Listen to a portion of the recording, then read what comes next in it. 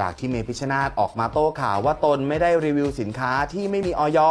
ตามที่เพจเพจหนึ่งได้ออกมาแฉแต่เรื่องน่าจะเกิดขึ้น เพราะว่า 2 เพจมีปัญหากันแล้วก็โยงตนเข้าไปเกี่ยวจนในเวลาต่อมานะครับพบว่าพิงกี้สาวิกาก็เป็นหนึ่งในดาราที่เคยรีวิวผลิตภัณฑ์ดังกล่าว โดยล่าสุดเธอก็ได้เผยกับสื่อครับว่าเป็นการรีวิวนานแล้ว แล้วก็ยอมรับว่าตอนนั้นก็ไม่ได้ตรวจสอบเชิงลึกครับ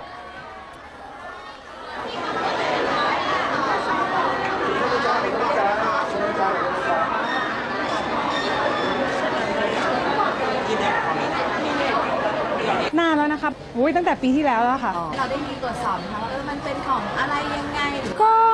เราเห็นว่าเขาดูแบบถ้าเราเราดูแล้วมันแบบน่าเชื่อถือหรือเปล่าอะไรอย่างเงี้ยค่ะแล้วก็ดูแบบว่าอุ้ยมีคนแล้วมีดาราเราต้องเราต้องดูก่อนว่ามีดารารีวิวหรือเปล่าอะไรอย่างเงี้ยค่ะแล้วก็มีเพื่อนๆหรือคนที่เรารู้จักหรือเปล่า แล้วก็เราว่าถ้าเกิดว่า เขาให้จ้างเราแล้วเนี่ยเขาน่าจะผ่านอะไรแล้วนะ แล้วก็คิดแบบไม่ได้ไม่ได้แบบซีเรียสอะไรขนาดนั้นพี่ก็ไม่รู้ว่า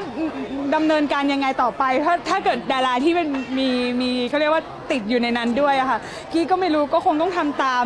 ที่เขาต้องให้ทำแต่เราก็ไม่รู้ว่ามันมันจะมาเกี่ยวอะไรด้วยกับเราหรือเปล่า เพราะว่าเราก็คือเป็นผู้ผู้โดนผู้ว่าเขาว่าจ้างเรามา เราก็ทำ ตามที่เขามอบหมายมาอย่างเงี้ยค่ะ แต่ตอนนี้ของเรายังไม่มีการติดต่อหรือให้เรียกเข้าพบเพื่อชี้แจงอะไรยังเลยค่ะ นี่เพิ่งรู้เนี่ยเพิ่งรู้ตอนนี้เลยค่ะ